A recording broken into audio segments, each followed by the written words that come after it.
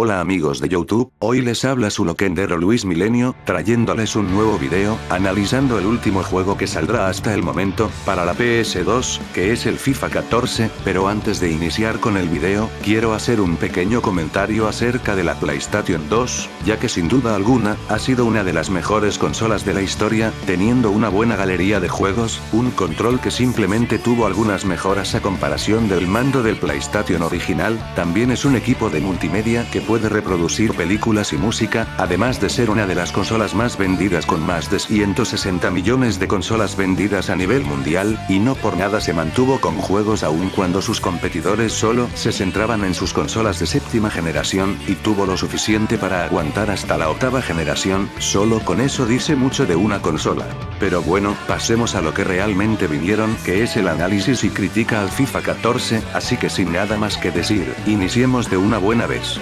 Sabemos el FIFA 14, es un juego de fútbol, desarrollado y distribuido por EA Games, para las consolas PS2, PS3, PS4, PSP, Wii, 3DS, PC, Xbox 360 y Xbox One, este juego no está disponible para Wii U, por las bajas ventas de la consola, en sí la mecánica del juego, es simple, que es ir ganando campeonatos, ya sea en modo torneo, o modo carrera, desbloqueando los estadios, uniformes alternativos, balones oficiales, y celebraciones, que están en la tienda del aficionado por medio de los retos FIFA, en sí el juego posee mejoras para las consolas Xbox 360, PS3, PS4 y Xbox One, en cambio para las demás consolas está la versión legado, que es el mismo juego del año pasado, incluyendo solo una actualización de los equipos, con las camisetas y plantillas actuales, al mismo precio que los juegos con mejoras. Por lo que no es recomendable comprar el juego si ya tienes la versión 2013, ya que es lo mismo, pues en sí, si me pusiera a comparar la versión del PS2 con la del PS3, hay una gran diferencia, tanto gráficamente como en la jugabilidad, y si todavía la quisiera comparar con la PS4, pues bueno, con solo mostrar el video se nota la clara diferencia entre sexta, séptima y octava generación en un juego.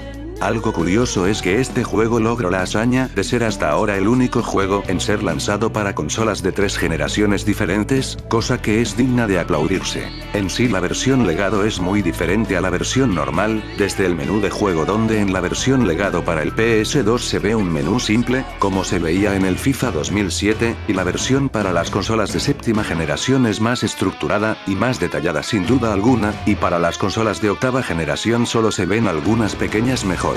aunque un poco más elegante, y pues no hay mucho que analizarle a la versión legado, así que pasemos a decir las cosas positivas y negativas del juego en mi opinión. Cosas positivas. Creo que el simple hecho de que el juego salga para el PS2 y no para el Wii U es una cosa muy positiva en sí, pero pasando realmente al tema, yo creo que si algo hay que destacar al juego es su forma simple y práctica de jugar, es decir no tienes que ser un verdadero videojugador para entenderle, y se los digo ya que yo no había jugado nunca FIFA en PS2, y el primer partido le entendí muy rápido a los controles y forma de jugar, cosa que con otros FIFAs no me pasaba, y me tardaba un poco en entenderle, creo que en sí, es lo único que yo puedo destacar del juego, ya que solo es una copia del pasado FIFA 13, así que no hay muchas cosas que aplaudirle.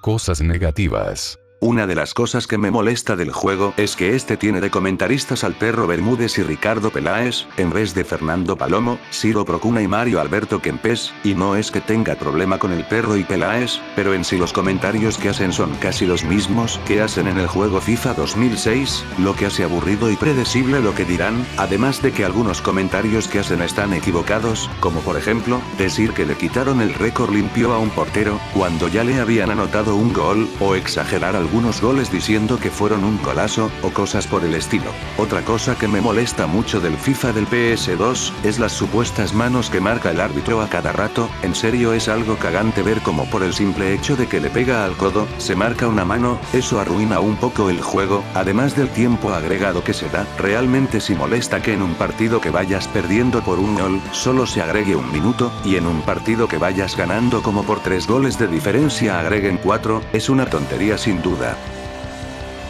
Conclusión. Pues el FIFA 14 para el PS2 al igual que las demás versiones legado solo son una copia del pasado FIFA 13, solo que con los equipos y uniformes actualizados por lo que, si ya tienes el juego del año pasado, no es recomendable comprarlo, además de estar al mismo precio que el FIFA 13 cuando salió al mercado, así que mi recomendación es simple, no compres el FIFA 14 para el PS2 si ya tienes un juego de FIFA, al igual que los demás juegos de versión legado, ya que son los mismos gráficos, los mismos modos de juego, en fin, es lo mismo, y si se preguntan por qué lo compré yo, es simple, no tenía juegos de FIFA para el PS2, así que decidí esperar para comprar el último juego del PS2. Y bueno hasta aquí el video espero que les haya gustado, sé que fue algo corto, pero bueno no se le puede criticar y analizar mucho a un juego que es solo una copia LEL, pero bueno quise hacer este video ya que fue el segundo más votado en el Tú Decides, comenten, denle like, y suscríbete para que el canal siga creciendo, por cierto ya logramos los 300 suscriptores, gracias por su apoyo, y pues sin nada más que decir, nos vemos en un próximo video, hasta la próxima.